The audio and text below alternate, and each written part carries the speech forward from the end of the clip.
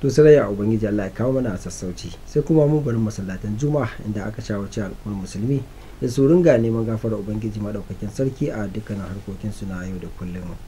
Imam masallacin juma'a na da'awa da ke da christian malam muhammad aminu din abubakar shine ba da wannan shawara a huɗu ta sallar juma'a kamar yadda za a je a cikin rahoton nasiru yusuf ibrahim.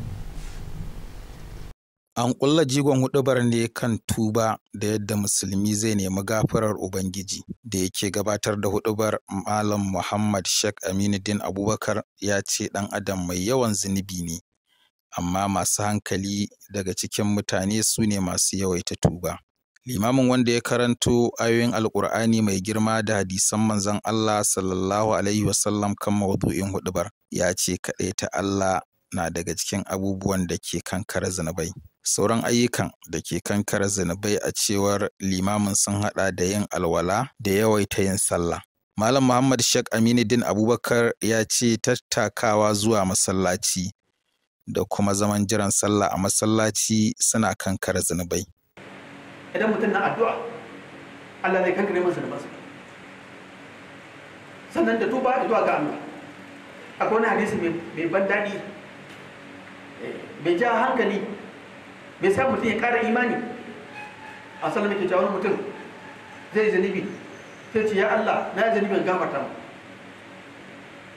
Sai Allah ce bawa na ya yi zanibi kuma ya san akwai wani ubangiji da zai gafarta masa kuma zai kama shi idan ya yi to na gafarta masa. Wato kasancewa akwai Allah da zai gafarta maka ka nemi gafararsa Allah zai gafarta maka. Bawan nan ya sake zanibi na biyu. Ya ce ya Allah na yi zanibin gafarta mu Allah ya ce bawa na ya yi zunubi ya san yana da ubangijin da zai gafarta masa. Kuma ya kama shi idan ya yi na gafarta masa. Bawan Allah da sake na uku ya ce ya Allah na zunubi ya gafarta mu Allah ya ce bawa na ya yi zunubi kuma ya san yana da ubangijin da zai gafarta masa. Kuma ya kama shi idan ya yi na gafarta masa. Ya kuma da aikuna ku shaida na gafarta ba ya aikata duk abin da ya ga dama. Malamai suka ce ba tun farko zuru ba kasa a baki. Mutumin da zai tuba na nadama. Limamin ya kammala huɗubar da addu'ar neman samun shugabanni na gari a lokacin zaɓe mai zuwa.